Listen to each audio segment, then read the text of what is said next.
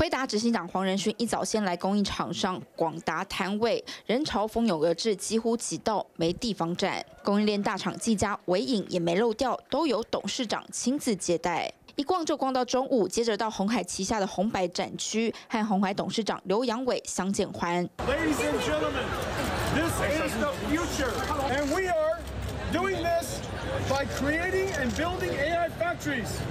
Powered by amazing and gracious servers. 双方宣布将以超级晶片 GB 两百伺服器为核心，在台湾高雄建制先进算力中心，包含智慧制造、智慧 EV、智慧城市三大平台。The largest AI supercomputer in Taiwan today is in Kaohsiung. A a company belonged to Foxconn helped us build the data center and host our supercomputer for us. We are going to expand Taipei 1 with even more supercomputing capability. Taiwan needs to have amazing AI infrastructure so that the, the researchers and the companies in Taiwan can have an infrastructure to create AI for factory. NVIDIA! 高喊口号，足见两人的好交情。黄仁勋更是大赞红海是长久合作伙伴。台湾对 AI 的重要性，不仅仅是与合作伙伴非常紧密，更要加深对台湾投资。五年内在台湾设立投资研发中心。Excellent engineers, great technology, excellent work ethic, great spirit. It's a it's a fantastic place. 行程满档逛 Computex，接着举行全球媒体问答，一再重申台湾在 AI 产业的重要性。Very exciting times. This is going to change every aspect of computing, from the cloud to the PC to edge devices. One of the greatest opportunities, growth opportunities the world's ever seen. And this is a great opportunity for Taiwan because there are so many amazing companies here. 不止对台湾媒体有问必答，更是包下饭店一整层做产品展示展间，从气象、医疗还有微服务各种 AI 解决方案，其中这一台更是突破以往技术。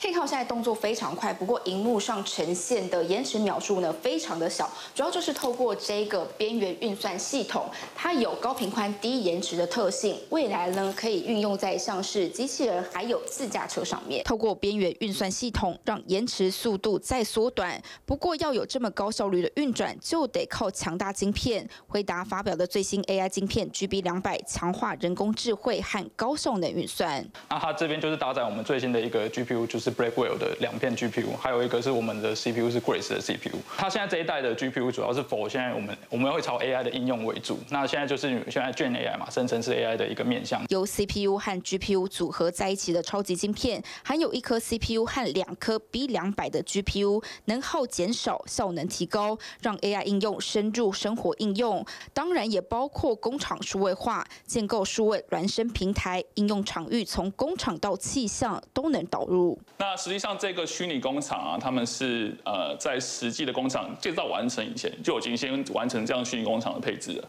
那除此之外呢，像是。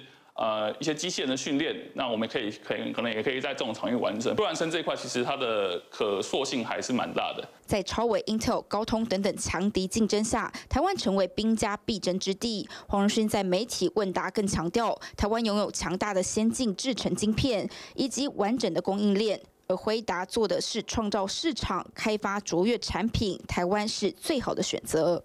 Taiwan is the home of many of the world's great computer technology companies, starting from semiconductor technology, TSMC, packaging companies like Spill, system makers like Quanta, Foxconn.